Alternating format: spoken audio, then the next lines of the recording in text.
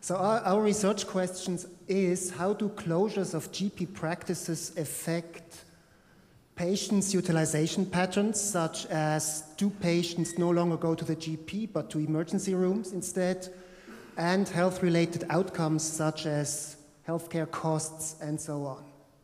We use data from the SASIS data pool, which is the universe of uh, of all health insurers in Switzerland and merge them with individual data from CSS.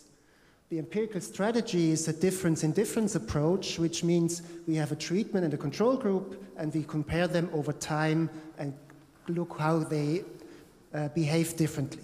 We have first results, and we find that closures indeed have an impact on utilization patterns and healthcare expenditures. And if you want to see them result, the results, please look at our poster.